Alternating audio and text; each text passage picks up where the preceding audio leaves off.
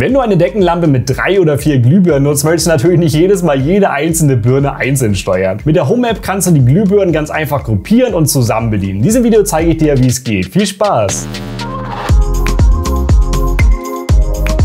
So, lass uns mal direkt loslegen. Öffne du schon mal die Home App von Apple und dann legen wir direkt los.